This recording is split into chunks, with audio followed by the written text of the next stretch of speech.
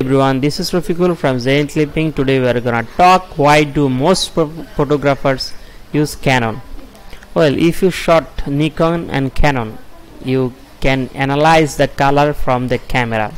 Photographs taken by Canon simply look more satisfying to the vast majority of eyes particularly while shooting individuals. In any case all of these are individual inclinations also Canon made red glass.